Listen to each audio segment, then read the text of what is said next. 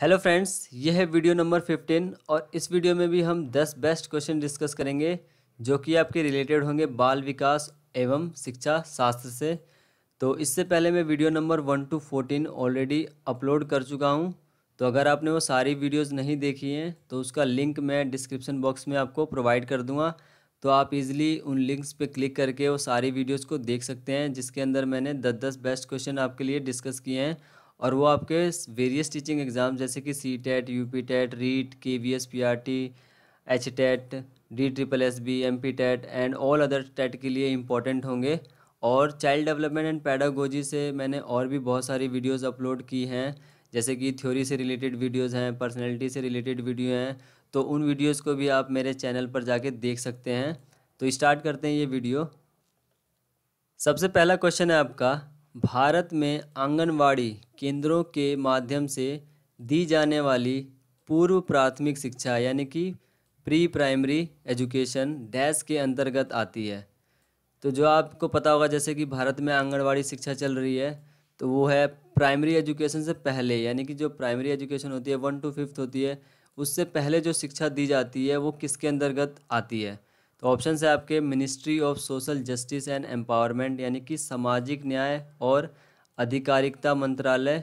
Second option है आपका ministry of health and family welfare यानी कि स्वास्थ्य और परिवार कल्याण मंत्रालय। थर्ड ऑप्शन है आपका ministry of human and child development महिला और बाल विकास मंत्रालय। एंड लास्ट है आपका ministry of human resource development जिसे आप बोलते हो एम एच आर डी या फिर एच आर डी मानव संसाधन विकास मंत्रालय। तो जो आपका प्री प्राइमरी एजुकेशन आता है इंडिया के अंदर मतलब कि आंगनवाड़ी सेंटर्स के अंदर, वो होता है आपका ऑप्शन नंबर थर्ड इसका करेक्ट आंसर है ministry of human and child development के अंतर्गत ये आता है।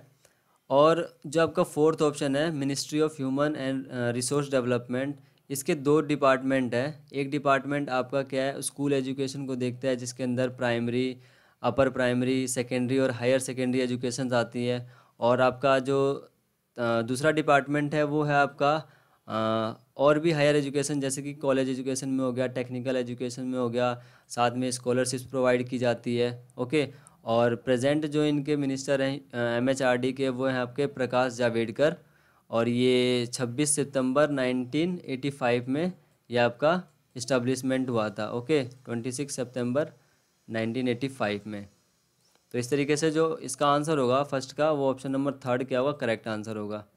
क्वेश्चन नंबर टू है आपका critical thinking is an aspect of यानी कि गहन चिंतन निम्न का एक पहलू है।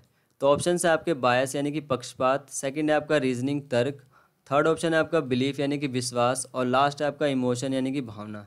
तो जो क्रिटिकल थिंकिंग है, वो किसका एक पहलू है, वो है आपका ऑप्शन नंबर सेकंड जो है आपका रीजनिंग यानी कि तर्क। किस तरीके से?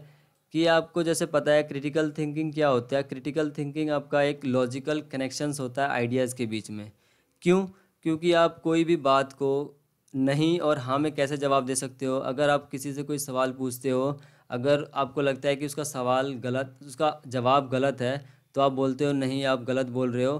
क्यों? क्योंकि आप उस फैक्ट को जानते हो, इसलिए आप बोल सकते हो कि हाँ ये गलत है। यानी कि उसके पीछे तर्क कर सकते हो रीजनिंग कर सकते हो।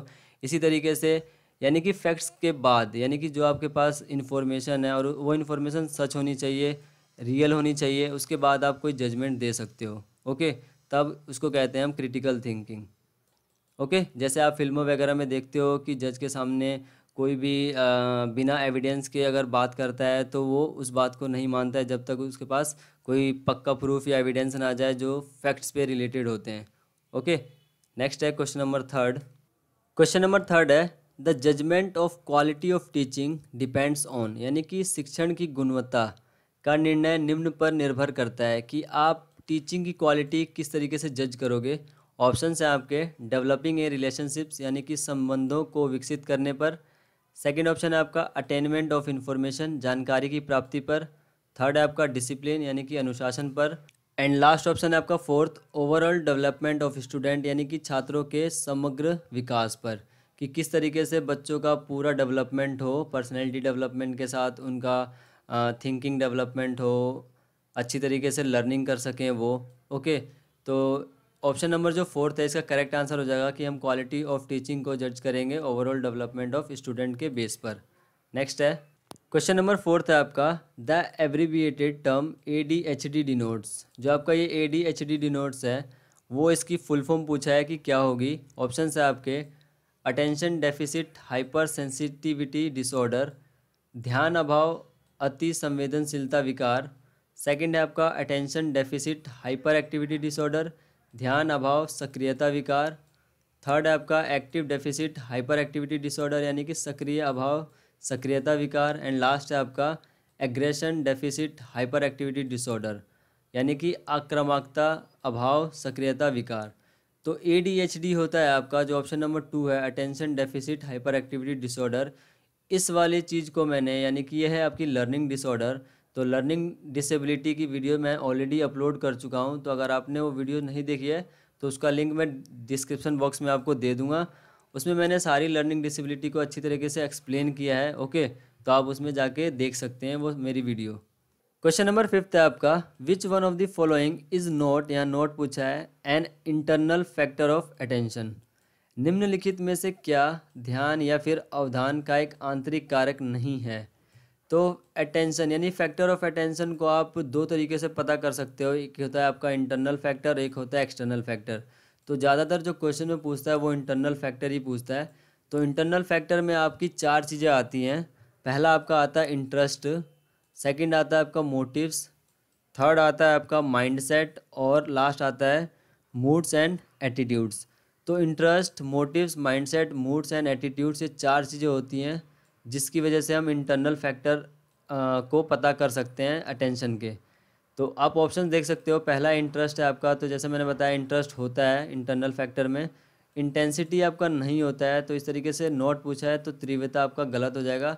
बट ये आंसर क्या होगा करेक्ट होगा बिकॉज़ नो पूछा है नेगेटिव आंसर पूछा है। और माइंडसेट आता है आपका मोटिव आता है, प्रेरणा। तो इस तरीके से मोटिव माइंडसेट और इंटरेस्ट आता है तो इंटेंसिटी इसमें नहीं आता है इंटरनल फैक्टर में तो ये करेक्ट आंसर हो जाएगा। नेक्स्ट है। क्वेश्चन नंबर सिक्स है आपका। Which of the following factors did Kohlberg focus on his theory of morality Kohlberg अपने नैतिकता के सिद्धांत में निम्नलिखित कारकों में से किस पर ध्यान केंद्रित किया है? जैसा कि हमें पता है कि कोलबर्ग ने मोरल डेवलपमेंट की थ्योरी दी थी, यानी कि नैतिक विकास का सिद्धांत दिया था तो उस थ्योरी में उन्होंने किस पर ज़्यादा फोकस किया है? ऑप्शन है आपके फैमिली इन्फ्लुएंस यानी कि परिवार, प्रभुत्व। सेकेंड है आपका कॉग्नेटिव डेवलपमेंट संज्ञानात्मक विकास। थर्ड है आपका कल्चर संस्कृति। एंड ऑप्शन नंबर फोर्थ है जेंडर डिफरेंस यानी कि लिंग भेद। तो उन्होंने जो मोरल डेवलपमेंट में फोकस किया है, उस पर किया है। सेकेंड ऑप्शन यानी कि संज्ञानात्मक विकास पे उन्होंने ज़्यादा फोकस किया है। ओके क्वेश्चन नंबर सेवन्थ है आपका। Which of the following is not an objective of continuous and comprehensive evaluation यानी कि निम्नलिखित में से क्या सतत एवं व्यापक मूल्यांकन का उद्देश्य नहीं है? आपको नहीं पूछा है इसमें तो जो भी आपका नेगेटिव कमेंट होगा या नेगेटिव ऑप्शन होगा, वो आपका राइट right आंसर हो जाएगा। तो पढ़ लेते हैं ऑप्शन इसमें। प्लान टीचिंग लर्निंग सिचुएशन यानी कि शिक्षण अधिगम, स्थितियों की योजना तैयार करना तो ये होता है आपका सीसीई में। सेकेंड ऑप्शन है आपका communicate the child's progress to different stake holders यानी कि बच्चे की प्रगति को विभिन्न हितधारकों को बताना तो ये सी का ऑब्जेक्टिव है, उद्देश्य है। थर्ड ऑप्शन है आपका map changes in child's learning and development यानी कि बच्चे के अधिगम और विकास में परिवर्तनों का मानचित्र बनाना तो ये भी आपका सी का ऑब्जेक्टिव है। फोर्थ है आपका inculcate fears in mind of peoples so that they are able to perform better यानी कि विद्यार्थियों के मन में भय पैदा करना ताकि वे बेहतर प्रदर्शन कर सकें। तो ऐसा बिल्कुल नहीं करना होता है कि स्टूडेंट के अंदर आप डर पैदा कर दो ताकि वो ताकि आप सोचो कि वो डर के मारे अच्छा परफॉर्म कर सके। तो ये बिल्कुल गलत कमेंट है और नेगेटिव आंसर है तो इस तरीके से नहीं पूछा है, नहीं तो ऑप्शन नंबर फोर्थ है आपका राइट आंसर नेक्स्ट है question number eighth which of the following is not यहाँ पे भी नोट पूछा है a risk factor for drug use that is directly attributed to parents यानी कि निम्नलिखित में से कौन सा ड्रग उपयोग के लिए जोखिम कारक नहीं है, जिसके लिए माता पिता प्रत्यक्ष रूप से उत्तरदायी ठहराए जाएँगे? ऑप्शन है आपके चाइल्डहुड नेग्लिजेंस यानी कि बाल अवस्था लापरवाही, कि आप बच्चों को भूल जाओ, बच्चों पे ध्यान ना दो। सेकंड है आपका एब्यूज़ यानी कि दुर्व्यवहार करना। सेकंड है आपका पीयर रिजेक्शन यानी कि सहकर्मी अस्वीकरण। और लास्ट आपका जेनेटिक इनहेरिटेंस यानी कि आनुवांशिकता विरासत। तो क्वेश्चन नंबर एट्थ का जो आंसर होगा, वो होगा आपका पीयर रिजेक्शन यानी कि सहकर्मी अस्वीकरण। आपका क्या है? एक फैक्टर नहीं है। ड्रग यूज़ के लिए जो कि आपका डायरेक्टली यानी कि प्रत्यक्ष रूप से माता पिता उत्तरदायी उसके लिए ठहराए जाएँगे। तो पीयर पीयर रिजेक्शन आपका क्या हुआ? राइट आंसर हो जाएगा। ओके नेक्स्ट है। क्वेश्चन नंबर नाइन्थ है आपका। एक बच्चे को ज्ञात होता है कि चार पैर वाला जानवर, जो कि हिन आता है कुत्ते के मौजूदा आकार में फिट नहीं हो सकता। इस नई जानकारी को इस आकार में फिट करने के लिए वो कौन सी प्रक्रिया अपनाएगा?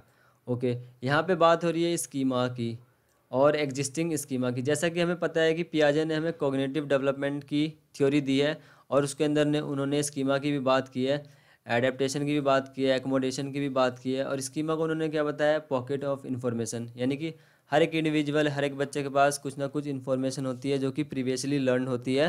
तो यहाँ पे जो बात हो रही है कि उसको पता है कि वो हिन आता है, लेकिन वो कुत्ता नहीं है। लेकिन उसको जो नई इन्फॉर्मेशन पता चली है तो उसको फिट करने के लिए कौन सी प्रोसेस को अपनाएगा वो? तो ऑप्शन है आपके डिसइक्लिब्रेशन यानी कि असंतुलन।